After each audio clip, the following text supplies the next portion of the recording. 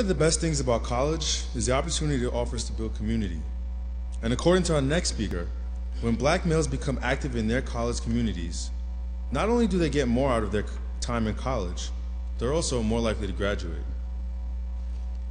Please welcome Jermaine Wright, Interim University Director for the Black Male Initiative at the City University of New York.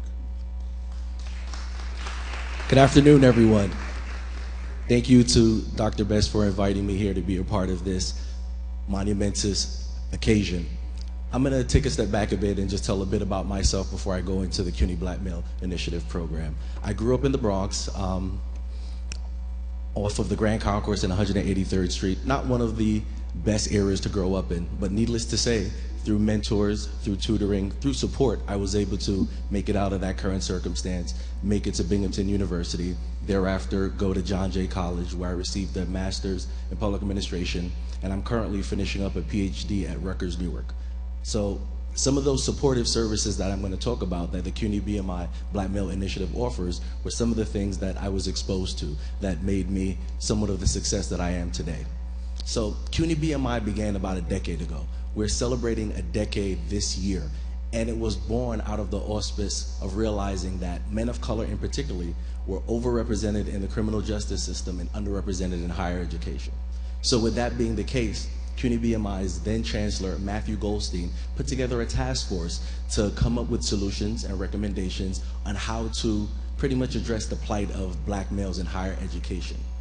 So when we began in 2005, we began with 15 demonstration projects throughout the five boroughs. CUNY itself is comprised of 24 institutions throughout the five boroughs.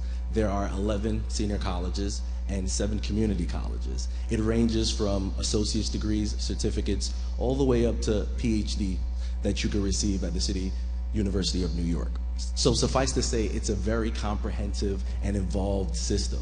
So being one of the largest urban public institutions, there are a lot of men of color, particularly at the City University of New York. So this was the best place to actually have a program of this magnitude so that we could address the needs of men of color. So I assumed the role of university director about eight months ago, and I've been with CUNY for about seven years now.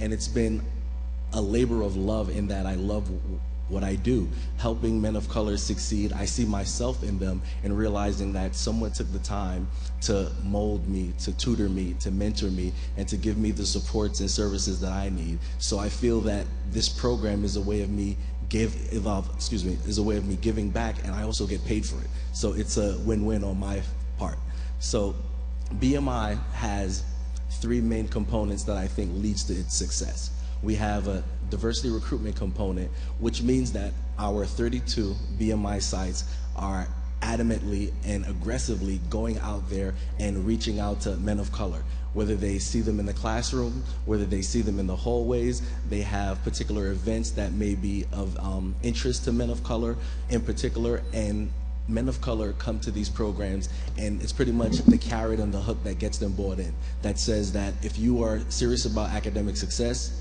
if you want to be successful you'll join this program our primary funder for the bmi program is the city council we do receive um, funding from a public entity. So while we do bear the name Black Male Initiative, this program is open and available to all academically inclined students. However, it is a primary concentration of black men and Latino males that take part in the program.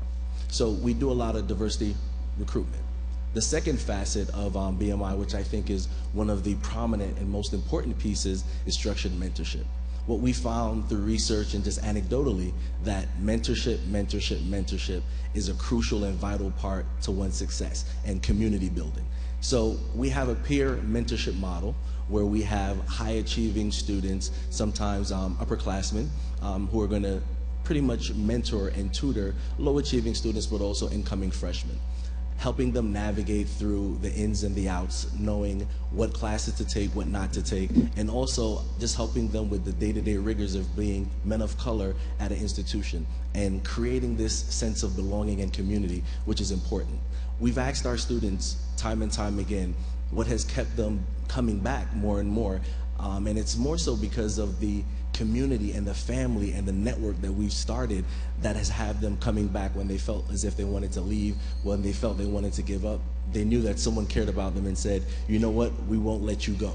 Um, so it's that sense of community and belonging that has been instrumental in making our students successful.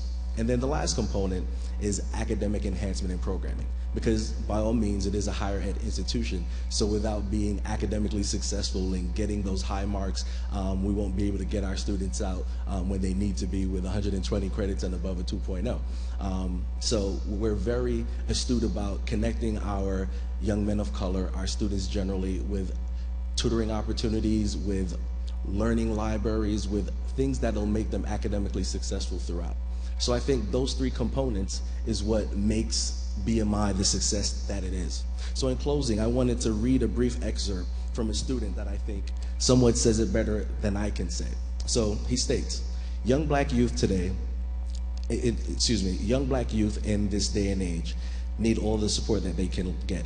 I was lucky to have the type of father that I have. However, most black youth have no support system and have to look to others to show them support. We come from broken homes, impoverished communities, and pass through a school system that poorly educates us. To a lot of black males at BMCC, BMI is the only support that they have. They get academic support, more importantly, a place to just be themselves and tackle their problems head on.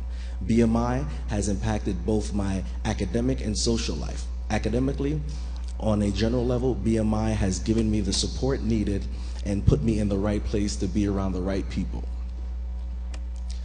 Socially, on the other level, BMI takes the platform of a safe zone of thought. We are free to think and talk however we like without worry of being persecuted. Moreover, BMI provides its members with opportunities to work either through or directly with BMI. And the student closes by saying that because of the interventions of BMI, he currently has a 4.0 GPA, plans to do a double major in physics and mathematics when he gets to a four-year institution. And he also plans to jump straight to the PhD in physics program once he completes the undergraduate degree. And it was through the assistance of BMI that he went ahead and applied for the BMCC NYU Poise program, where um, which he has been accepted to. To some of the program, he is one of 10 BMCC students competing for five scholarships to NYU. The winners will be announced towards the end of this school year. So in closing, this is what BMI has done for its students, and you've heard directly from a student how BMI has impacted him. Thank you.